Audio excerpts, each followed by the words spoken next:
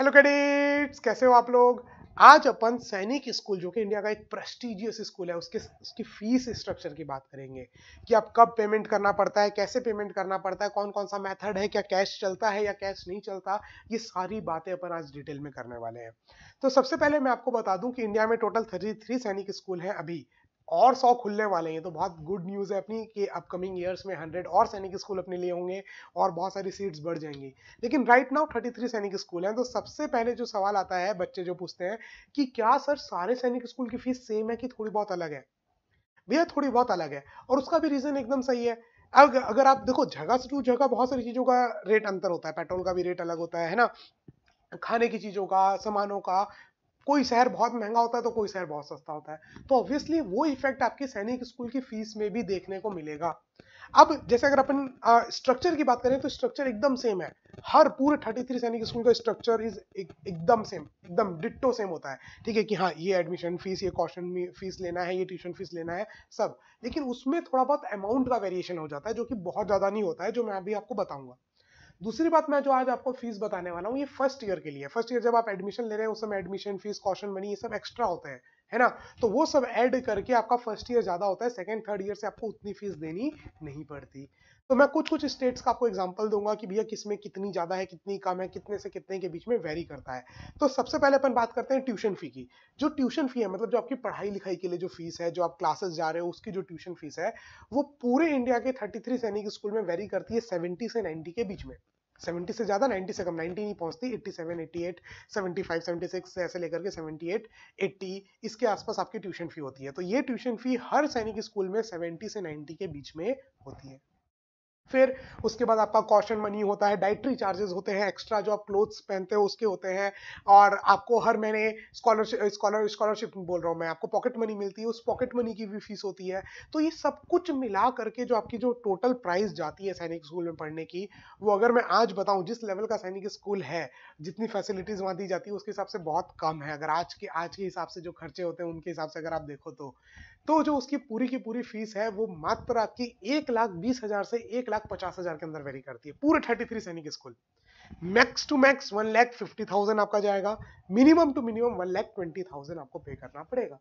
अब कुछ स्टेट्स की अगर मैं आपको बात करूँ कि कहाँ पर कैसे कैसे कोई चेंज होती है तो मैं आपको बता दूँ, जैसे कोरुकोंडा की वन लैख थर्टी थाउज़ेंड है, कुंजपुरा की one lakh forty seven thousand six hundred है, नागरोता की वन लैख ट्वेंटी थाउज़ेंड है। अब ये जो फ़ीस मैं आपको बता रहा हूँ, ये टोटल ओवरऑल आपको जो टोटल हर चीज़ एक्स्ट्रा फ़ीस मेसेलिनियस फ़ीस सब कुछ मिला करके जो फ़ीस होती है ना फ़र्स्ट ईयर के हिसाब से वो फ़ीस है। ठीक है, जिसमें ट्यूशन फ़ीस भी आ गई, आपका डाइटरी फ़ीस भी आ गया, आपका क्लोथिंग भी आ गया, आपका सब कुछ आ गया।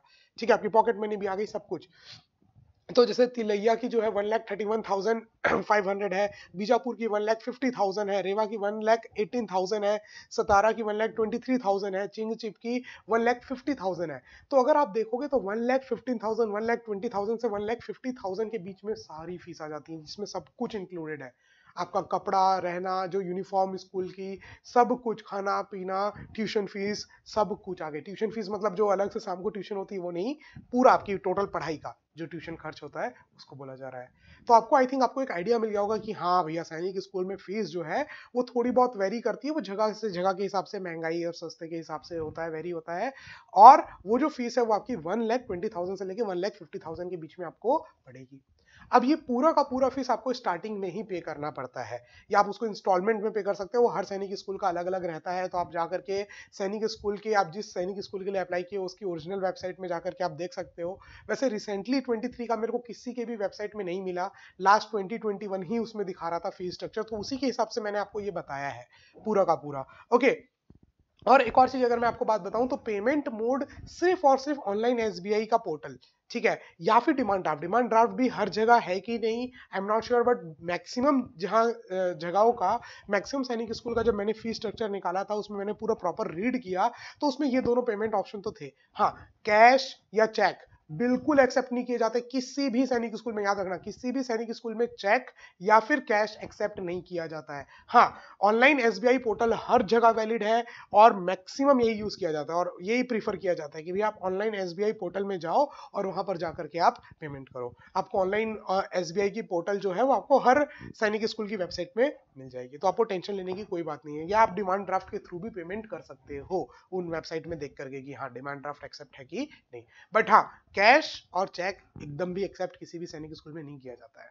और आपको पूरा प्री इंस्टॉलमेंट देना पड़ता है। मतलब पूरा पहले ही एक एक बार में या दो बार में, दो इंस्टॉलमेंट में या तीन इंस्टॉलमेंट में बट पूरा का पूरा पहले ही आपको फ़ीस पे करनी पड़ती है सैनिक स्कूल में।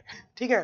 तो ये सारी बातें थी आपकी इस फ़ीस पेमेंट को लेकर के 2023 के लिए। अलग से ऐसा कुछ न्यूज़ नहीं है कि बहुत बढ़ेगी या कम होगी, कुछ भी नहीं। तो अपन वही मानते हुए चलते हैं कि वन लाख ट्वेंटी थाउज़ेंड से वन लाख फिफ्टी थाउज़ेंड जो आपको पहले पड़ता था, दो हज़ार ट्वेंटी वन ट्वेंटी टू में, वही फ़ीस आपको लगेगी। ओके चलो। तो आई थिंक आपको क्लियर हो गया होगा पूरा फ़ीस पेमेंट का, जो भी स्ट्रक्चर है, किस टाइप से है कुछ कुछ जगहों का एग्जांपल के साथ कैसे पेमेंट दे सकते हैं, कौन से मोड से दे सकते हैं। अगर कोई और जानकारी अगर आपको चाहिए तो मुझे कमेंट सेक्शन में ज़रूर बताना। बिल्कुल भी सरवाने की ज़रूरत नहीं है, और मुझे कमेंट सेक्शन में बताना कि आपको और क्या इन्फॉर्मेशन चाहिए, सैनिक स्कूल से रिलेटेड या कोई भी स्कूल से रिलेटेड तो मैं आपके लिए वो यहाँ पर लेकर के आऊँगा। ठीक है? फिर मिलूँगा आपसे अगली क्लास में, तब तक के लिए हँसते रहो, मुस्कुराते रहो, और देखते रहो सौरभ सर की क्लास जय Hind bye bye take care